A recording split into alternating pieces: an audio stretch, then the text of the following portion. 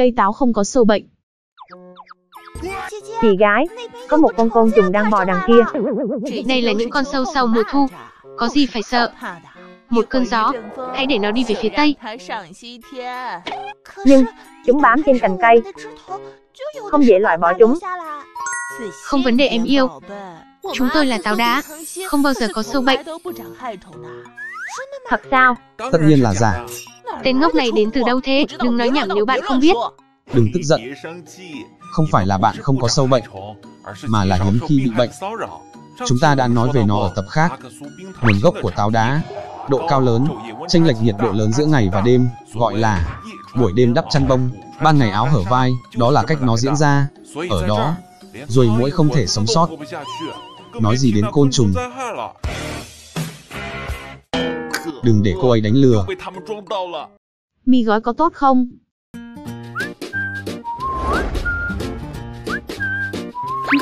Căng căng, bạn có nghĩ rằng thực sự cần 32 ngày để giải độc sau khi ăn một gói mì ăn liền không? Tuyên bố này không có cơ sở khoa học. Đó chỉ là tin đồn người ta truyền miệng nhau mà thôi. Vậy tại sao nhiều người lại nói điều này?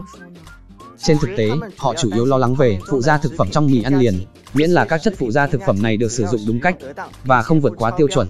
Ngược lại, nó đảm bảo hương vị và độ an toàn của thực phẩm. Hơn nữa, những phụ gia thực phẩm này đều được nhà nước cho phép. Liều lượng của từng loại được ghi rõ ràng. Nghe những gì bạn nói, tôi có thể tự tin ăn nó rồi. Ăn nó, nhưng chỉ thỉnh thoảng thôi. Bởi vì rốt cuộc nó là đồ chiên. Có một vài điều thực sự ảnh hưởng đến sức khỏe của chúng ta. Thế thì tôi đã biết. Ồ, oh, nó ngon quá. Đã nói nhiều như vậy, tại sao bạn không cho tôi một ít? Muốn ăn không? Tự mình đi nấu đi. Trời đất ơi, tự nhiên cái tôi tỉnh lại đèn luôn. Tự nhiên tôi hết. Khoét lỗ cho bò. Này, sao con... Sao trông nó lại như thế này? Tôi bị đau bụng, hãy giúp tôi. Con bò này biết nói chuyện. Cậu đang làm ầm lên chuyện gì vậy? Nên nghĩ cách đi. Vậy hãy để tôi mở một lỗ trong bụng bạn. Này này, cậu đang làm gì với con dao vậy? Tôi sẽ phẫu thuật cho bạn, tạo một lỗ hổng trong bạn. Tôi đã đồng ý chưa? Bạn đục lỗ cho tôi. Cái bụng của tôi trông không đẹp. Nhỡ thức ăn rơi ra thì sao? Dạ dày của bạn lúc nào cũng cảm thấy khó chịu, tạo một lỗ trên bụng, rất thuận tiện cho việc quan sát. Không, không, tôi sợ đau. Yên tâm, tôi đã tiêm thuốc mê cho bạn, nó sẽ không đau nữa. Thế là chưa đủ, người bị bệnh không phải là tôi, tại sao tôi phải chịu đau? Đừng vùng vẫy nữa, bạn không trốn được đâu. Không, cứu tôi với. Điều này thật tiện lợi, chỉ cần thò tay vào. Bạn biết con bò này tiêu hóa tốt hay không, nó còn thuận tiện cho việc nghiên cứu. Hoa mạn Đà La. Âu nhìn bông hoa này đẹp quá. Thôi đi, hoa cà độc dược, có độc đấy. Loại chất độc nào? Loại thần kinh. Đây là đưa tu rơ, tên dân gian là mạng Đà La. Hoa đà, thần y đã từng trộn nó với rượu mạnh, sản xuất thuốc gây mê đầu tiên trên thế giới. Đúng là thần y, có thể nghĩ ra được công thức như vậy. Ông ấy không phải thần y, bởi vì hồi đó có một đứa trẻ vô tình ăn phải mạng Đà La. Mẹ của bé tưởng nó sắp chết nên chạy đến Hoa Đà để chữa bệnh. Hoa Đà nói rằng nó chỉ hôn mê và sẽ tỉnh lại sau một giờ nữa. Sau khi tiễn hai mẹ con đi xa, ông nảy ra một ý tưởng. Ông nghĩ rằng Deturer, loại cây gây hôn mê, có thể được sử dụng làm thuốc gây mê. Đúng vậy, trong thời đại chiến tranh, cần thuốc gây mê để chữa trị cho người bị thương, có thể xoa dịu nỗi đau của họ. Nay khi Hoa Đà đang gặp khó khăn về việc này, Deturer đã truyền cảm hứng cho ông ấy. Thuốc gây mê đầu tiên trên thế giới ra đời từ đây. Husky ngáo ngơ. Tôi có chuyện này rất buồn cười. Một người bạn của tôi có một con chó Husky, nó quậy phá suốt ngày. Đó là do nó thích trải nghiệm. Tất cả những gì nó thấy, ngay cả đá cẩm thạch cũng không tha. Cương à, hãy bình tĩnh lại, đó là đá. Hãy đấu tay đôi với ta. Này bình tĩnh đi nào. Một đêm vào tháng trước, tôi đã đến nhà anh ấy để xem, rất gọn gàng. Bạn tôi trông có vẻ tự hào. Lát sau con chó bước ra, anh ấy buộc lên chân nó những cục tạ. Chỉ cần đi bộ mỗi ngày là nó mệt mỏi, lấy đâu ra sức lực để phá hoại ngôi nhà. Đi hai bước, tiến thêm hai bước nữa. Hôm ấy nó đã đủ buồn cười rồi. Anh ấy còn quay video cho tôi. Không ngờ, sau một tháng, Husky của anh ấy đã có võ thuật vô song, trực tiếp biến thành chân sắt. Gần đây nó hay xem dạy, thiết đầu công, chắc là đã tự học được. Tôi là thiết đầu công. Thiết đầu công. Cách ăn xoài cẩn thận. Ừm, tôi là ngộ không và tôi muốn ăn xoài. Xoài là trái cây nhiệt đới, bạn phải là khỉ nhiệt đới. Chắc ngươi là trái xoài không ăn nổi, nên mới còn ở đây. Ai nói tôi không ăn được?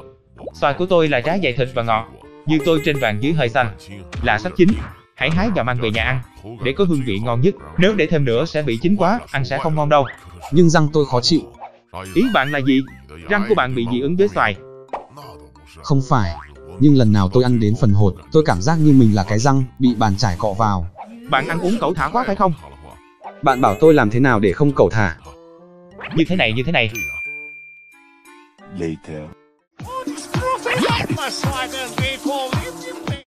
Hãy thu hoạch càng nhanh càng tốt.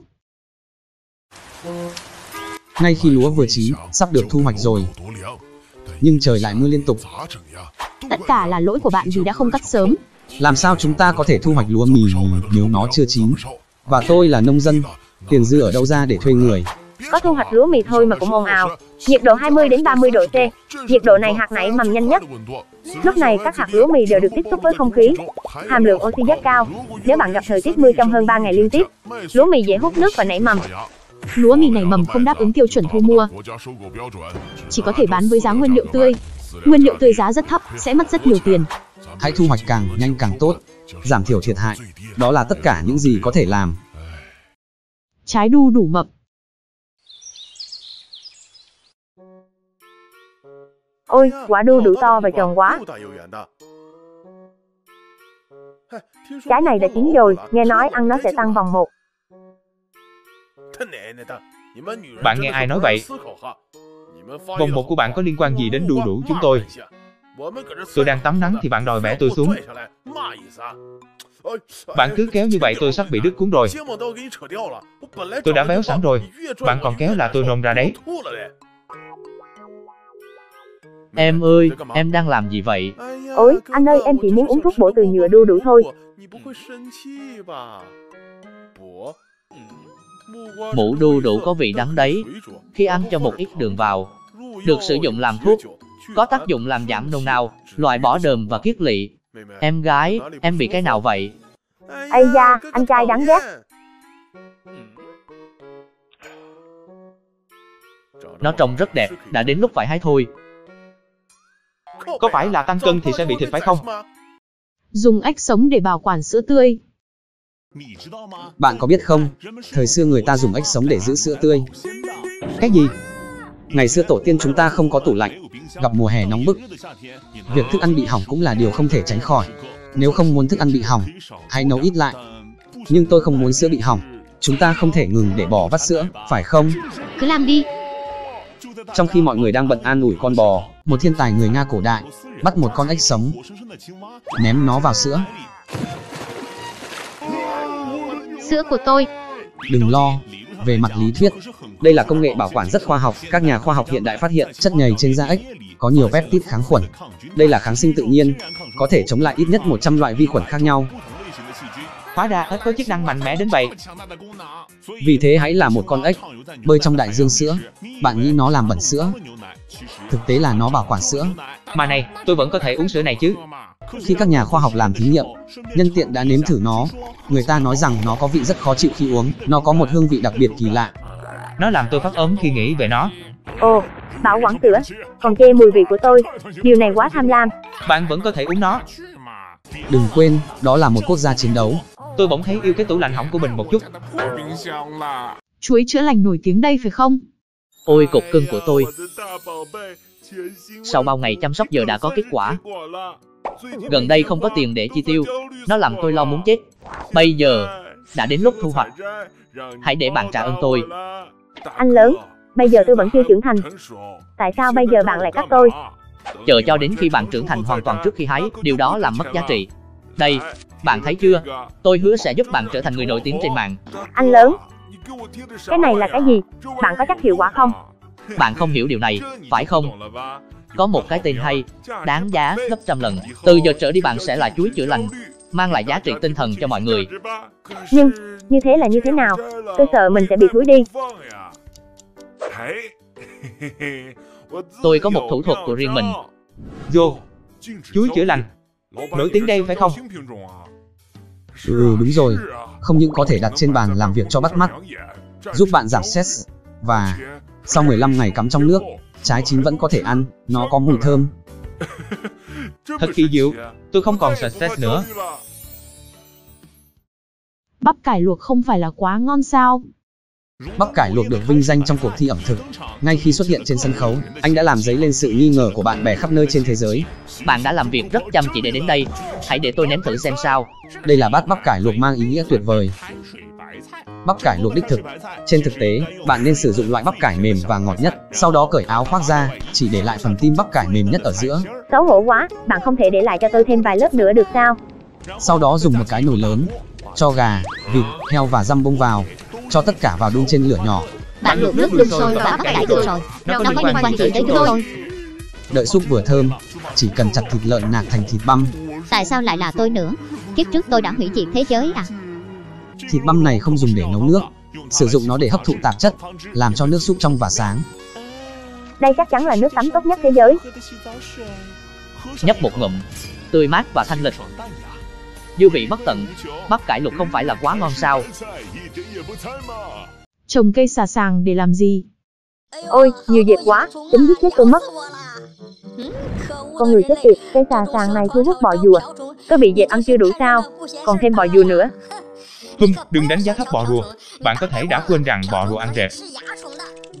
Khi trồng cây xà sàng tiết kiệm được thuốc trừ sâu. Dưa hấu ghép với bí ngô. Nương tử, Tướng công, Không được, tại sao? làm sao một cây bí ngô lấy một cây dưa hấu? Chúng ta đều thuộc họ Kukovic Asae, có thể kết hôn. Bạn sẽ không mang lại hạnh phúc cho cô ấy. Hãy nhìn vào rễ của tôi, khỏe và mạnh. Dưa hấu cưới tôi, chỉ ngọt mà không đắng. Dưa hấu này trong vườn tôi là cây giống duy nhất không thể gà. Tôi đã chuẩn bị đủ dinh dưỡng, đảm bảo toàn diện chất lượng trái dưa, chịu bệnh tốt. Chắc chắn sẽ có nhiều trái. Một mắt cho bạn một khoa, một khoa cho bạn một trái. anh đã chuẩn bị đầy đủ, vậy chúng ta chờ đợi gì nữa? Các bạn cố chấp sẽ không hạnh phúc. 2.000 năm sau. Dưa hấu ghép với bí ngô. Nó thực sự lớn và tốt, thật là một ý tưởng tuyệt vời. Nếu biết sớm hơn thì thả giả hói còn hơn. Này tôi thổi, này tôi cũng thổi. Anh ơi, tại sao? Chúng ta không thể bài giống họ. Trắng mịn, đẹp làm sao? Chuyện gì vậy? Màu vàng của chúng ta không đẹp sao? Sao phải ghen tị với làn da trắng của họ? Bạn bỏ ngay cái bệnh xính ngoại đi. Nhưng họ trông, trẻ đẹp hơn chúng ta mà. Bạn đã sai về điều này. Bạn nghĩ rằng họ trẻ. Thực ra họ là ông nội. Cái gì?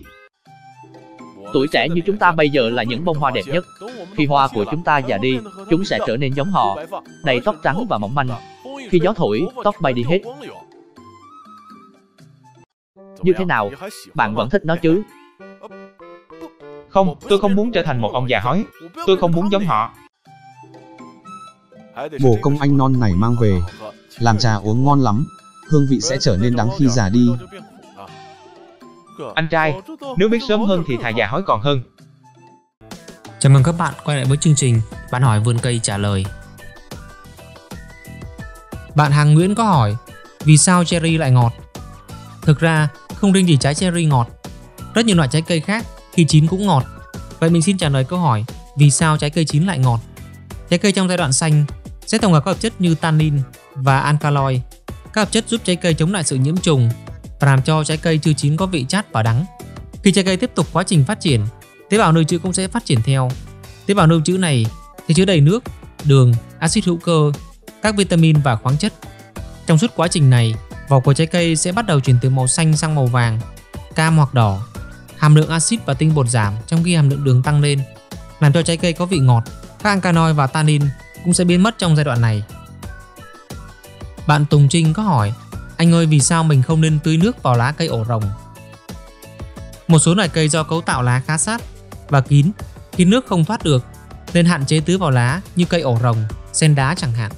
Vậy tưới nước cây ổ rồng như thế nào cho đúng? Có thể tưới nước bằng hai cách, phun sương và ngâm. Phun sương, cây ổ rồng của bạn bằng cách sử dụng một bình xịt phát ra một làn sương mịn, chẳng hạn như một bình phun sương. Phun toàn bộ cây, tập trung vào mặt dưới của lá. Ngâm cây ổ rồng, nhúng cây ổ rồng của bạn vào bồn hoặc chậu nước trong khoảng 1 phút hoặc cho đến khi rễ cây được ướt hoàn toàn. Hãy để cho cây của bạn nhỏ giọt cho đến khi ráo nước trước khi treo lại.